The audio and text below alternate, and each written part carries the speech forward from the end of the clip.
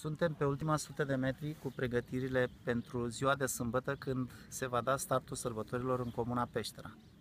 Uh, surpriza, zic eu, pentru toți cei care vor participa este că va veni Paula Seling, care ne va încânta cu frumoasele colinde,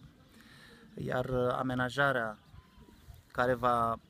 bucura ochii oamenilor va fi așa o surpriză care e gândită oarecum de mine de 8 ani de zile, numai că posibilitatea financiară a fost redusă, am achiziționat puțin câte puțin,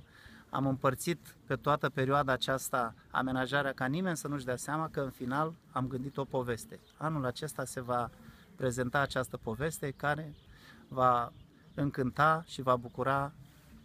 pe toți cei care vor avea plăcerea să participe uh,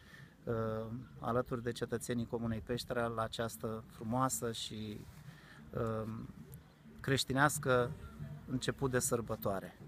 La ce se pot aștepta cei care vin? Care este programul manifestărilor de, de sâmbătă? Da, sâmbătă la ora 18 are loc aprinderea iluminatului festiv, deci startul sărbătorilor de Crăciun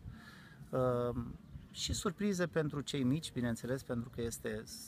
Moș Nicolae în acea seară, vine Moș Nicolae și un spectacol frumos care